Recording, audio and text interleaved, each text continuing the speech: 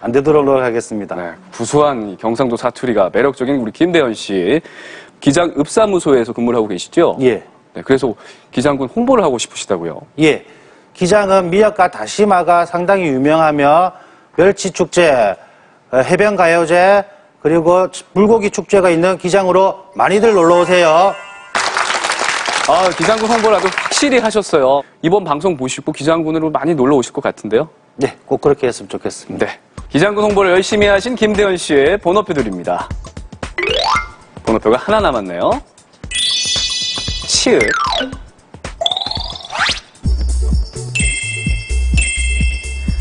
알맞은 시절. 이것 지난 옷은 옷장에 넣어두었다. 철, 철.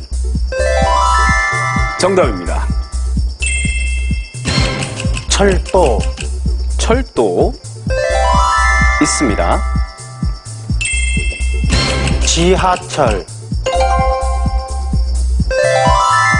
있습니다. 철공소, 철공소 있습니다. 제철소, 있습니다. 휴가철, 네, 휴가철도 있습니다. 이렇게 김대현 씨 모두 맞히셨네요. 김대현 씨 현재 점수는 300점입니다.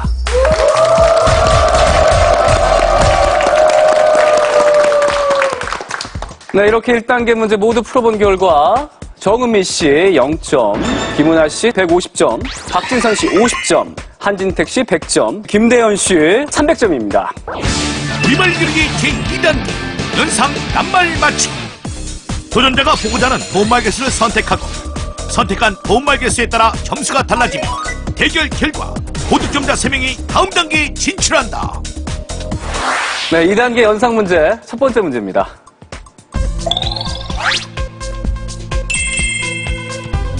이응, 이응의 이음절. 첫 번째 동문말. 달구리. 네, 정은미 씨 200점에 도전합니다. 우지. 김대현 씨 150점에 도전합니다. 영각. 눈물바다.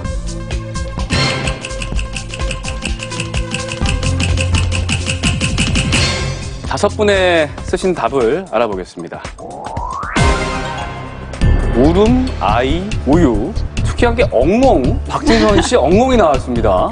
어, 생각이 너무 안 나서 눈물바다를 보니까 지금 제 기분이 엉엉 울 것 같아서 아. 그렇게 썼습니다. 그러면 여기서 정답을 알아보겠습니다. 네. 정답은 울음입니다. 먼저 첫 번째 도움말 달구리는 이른 새벽에 달기 울 때를 이르는 말입니다. 따라서 달구리에서 울음을 떠올릴 수 있었고요. 두 번째 도움말 우지 이 울보와 같은 말입니다. 걸핏하면 우는 아이를 이르는 말이었고요. 영각은 소가 길게 우는 소리를 뜻하는 말입니다. 따라서 정답은 울음입니다. 계속해서 2단계 두 번째 문제 풀어보겠습니다.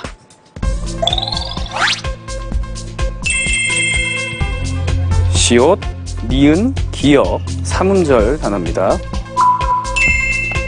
더운 가리.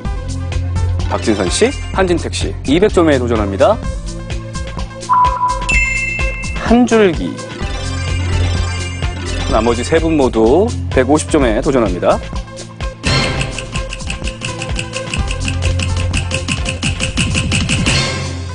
다섯 분이 어떤 답을 쓰셨는지 확인해 보겠습니다.